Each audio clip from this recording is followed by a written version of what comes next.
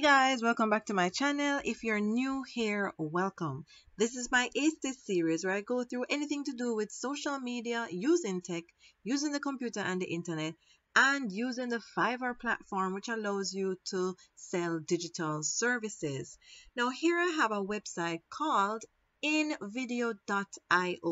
Now, first, when you go on the website, you have to create a free account and then fill out a little survey so they know what types of videos you want to do and maybe how many. And then it takes you to this area.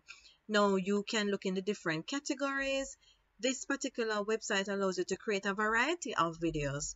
So let's look and see some of the ones that they allow us. So let's look at some of these categories.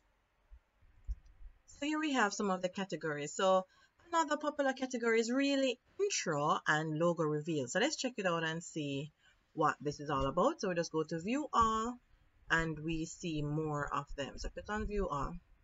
All right, so let me see which one I will try.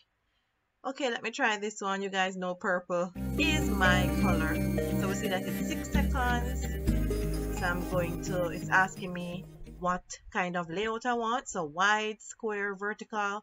So if you're aware of the different platforms, if it's an Instagram story, you would need the vertical. Instagram itself usually, usually uses a square and then most other platforms accept the wide like Facebook. So let's use that template. And you see it's giving you some tips so you can check it out. Remember, you can explore this site in detail. I just want to show you a little just how easy it is to use. So here I can just add my logo. So here it is. And then it's going to add the logo. All right, so this logo would not be so good on this particular background, but let's go ahead with it. I'm just going to put my logo here. All right, so I wonder if I should go with another template. Let's click OK because that purple isn't really looking so good with mine. So let me see. I like this one. Let's go with this one. So I'll use the wide. And let's add the logo again. Alright, so added. So this one is a little bit better. Just a little bit. I'm resizing the logo. So let's put it here and see what it looks like. Alright, and I don't really want to make any other changes. This is kind of how I like it. I could add a voiceover if I wanted. I could do different things here. You can fool around and see which options you want to play with. And then when you're done, you can simply download it. So I'm clicking download. Now, the free version, you're only able to download at 720. That's the video quality. So if you wanted a higher resolution, you would have to upgrade to the premium. But 720 is good. So that's not bad. So here what the video has to do is render. So when it's rendering, then this option will become available to download.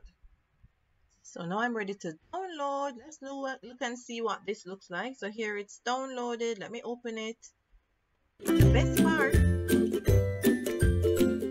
we see that there's no watermark added to it.